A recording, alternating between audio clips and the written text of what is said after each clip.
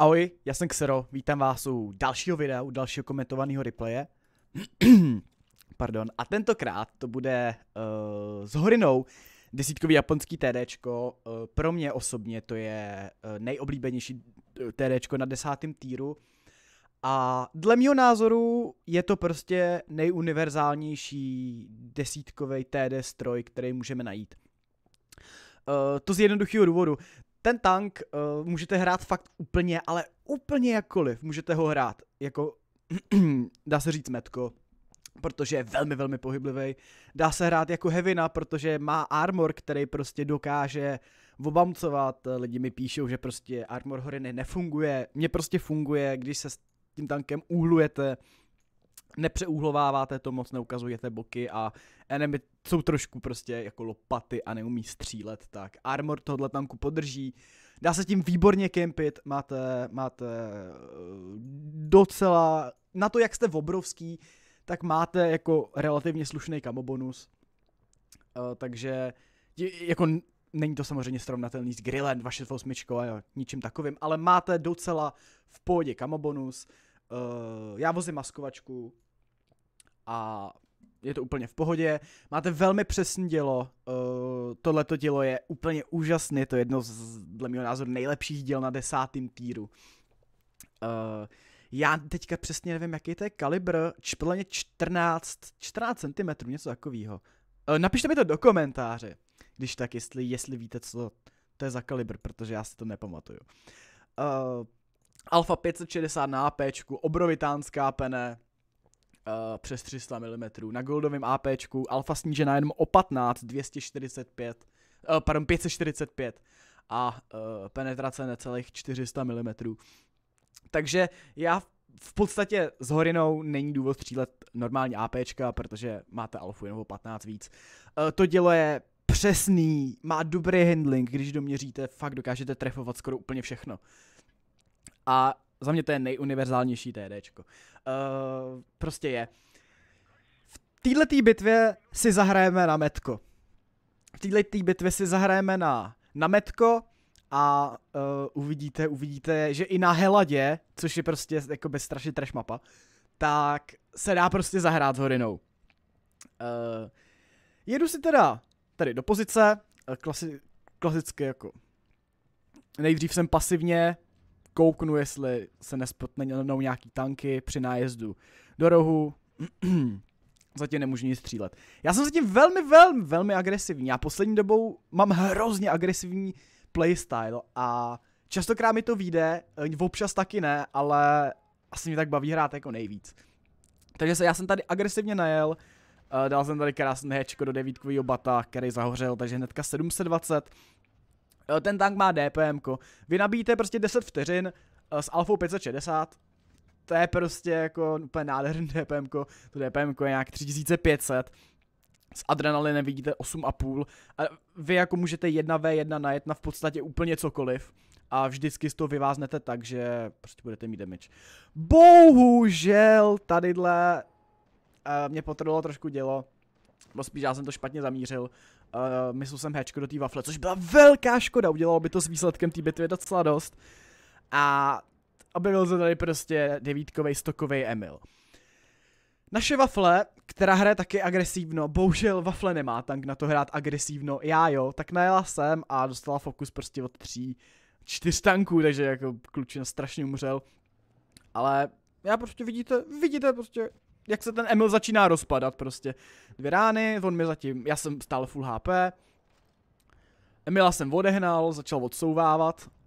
Uh, bouncnul mě grill pravděpodobně to byl. A na zádech se teďka objevila prostě T95 full HP. Prostě úplně mimo dění. Já si říkám, dobrý, 9.5 můžu nechat 9.5, wafle vystřelená, takže tady si můžu dát úplně for free hečko. Vidíte, jak je ten kruh fakt prostě malej a to jsem neměl zdaleka jako plně plně zamířeno. A díky tomu, že tenhle ten tank prostě jako nabíjí jako 10 vteřin, tak uh, mi padl tady vykřičníčková, vykřičníčková rána na Emila a velmi rychle jsem teda tady vyřešil toho Emila a ta wafle bude teďka taky rychlej proces, protože prostě hečko, on mě teď teďka jako probije za jako 750, což je dost, ale uh, wafle minus. No já už mám v tuhle dobu 4000 damage, uh, 2 killy a pořád tady jsou jako ještě tanky. Je tu grill a pademka. Bohužel ten baťák teďka, teďka umře a já jsem byl greedy po tom grillovi. Uh, což se mi asi vyplatilo.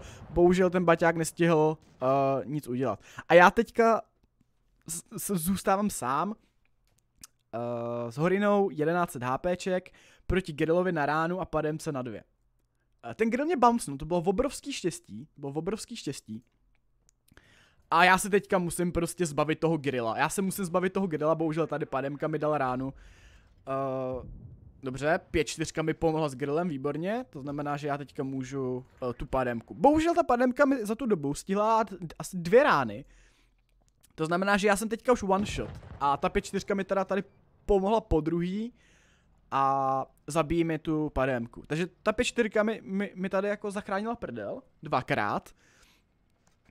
A já teďka prostě chci ujet někam, vidím, že, že uh, si ta 5-4, která hrála actually docela dobře, a ta Wafle poradila uh, s tím batem. A zbývá furt ta T95 a já jsem o ní věděl, já, tohle, tahle bitva byla hraná na streamu uh, a já si říkám, tady je ještě ta full AP 95 někde. Vidíte, že mám nabitý goldový APčka a uvidíte, až tu 95 prostě uvidím, že na tom tanku prostě nebude skoro žádný červený místo, prostě. Ty, ty goldy, ty horiny jsou prostě jedny z nejlepších goldů jako ve hře. Prostě čus, nazdar, v podstatě, v podstatě na nej, nejsilnější místo 9 petky. Uh, bohužel, já jsem tady na ránu. Uh, naštěstí, on mě, on mě bouncnul. A vidíte, že já teďka uh, se zoufalstvím, když mám málo HPček a s Adrem jsem nabíjel 7-9. To je šílený číslo. Týpek 518 HPček, dávám ránu, roluju 497, bohužel low roll a ta 95 mě zabíjí. To byla škoda, uh, že jsem umřel, nemám tam ten kill, ale končím bitvu s 6963 damage, 1920 nabouncováno. Škoda toho hečka na tu wafli, uh, který trefilo tadyhle ten, tadyhle ten rozbořený cosi, uh, mohlo to být 500-600 damage navíc, uh, bylo by to třeba 7,5, ale kdyby, kdyby uh, ta bitva dopadla takhle, já si myslím, že i tak velmi dobrá bitva a ukázka toho, že prostě s Horinou můžete hrát úplně na pohodu v první linii, uh, agresivně, pokud uh, si zvážíte, jestli prostě si to můžete danou bitvu dovolit. Uh, všechny tady ty rozhodnutí hrát agresivně, pasivně prostě, to nejde jednoznačně říct, vždycky mm, je to hodně o zkušenostech, jak jste schopni prostě analyzovat ten nepřátelský tým a využít, využít tu nejsilnější pozici. Uh, ale dá se s Horinou hrát i velmi agresivně a tohle to jako není jako, že jsem jednu bitvu zahrál agresivně, jako já Horinu hraju Eh, třeba ze 70% fakt jako první, druhá linie, zbylých 30% někdy na nějakých slepých kolích a takhle stojím růžky, protože i to jak funguje s tou horinou. A a tak. Uh, takže Horina za mě nejlepší desítkový TDčko společně s Grillem, ale já mám Horinu pře- přece jenom radši. A rozhodně nej, nejuniverzálnější desítkový TDčko který dokáže zastoupit v podstatě jakoukoliv, uh, jakoukoliv třídu tanků, kromě lightů samozřejmě, že ano. Tak jo, já doufám, že se vám tohleto video líbilo. Pokud ano, rozhodně hoďte palec nahoru a budu moc rád, když mi do komentářů napíšete váš názor na Horinu. Protože uh, kolem toho tanku prostě existují dva tábory a není nic mezi, prostě lidi, kteří, dobře, tři tábory, lidi, kteří nehráli a pak lidi, kteří hráli a myslí si, že je super a lidi, kteří si myslí, že je úplně k ničemu. A mě zajímá váš názor. Uh, moc krát chci poděkovat uh, všem členům, kteří, kteří uh, členujou a dovolují mi tím pádem dělat videa častě a v lepší kvalitě. Moc krát to vážím, guys, děkuji moc za podporu. Pokud byste i vy se chtěli stát členy, podpořit a získat si nějaký cool výhody, navštivte popis uh, videa, hnedka první odkaz. Rozklikněte, dozvíte se víc. Uh, v popisu videa je taky uh, odkaz na můj Discord a Xero Instagram, takže rozhodně můžete checknout. Moc krát děkuji za sledování. Mějte se pěkně a u nějakého dalšího videa nebo streamu se mějte. Ahoj.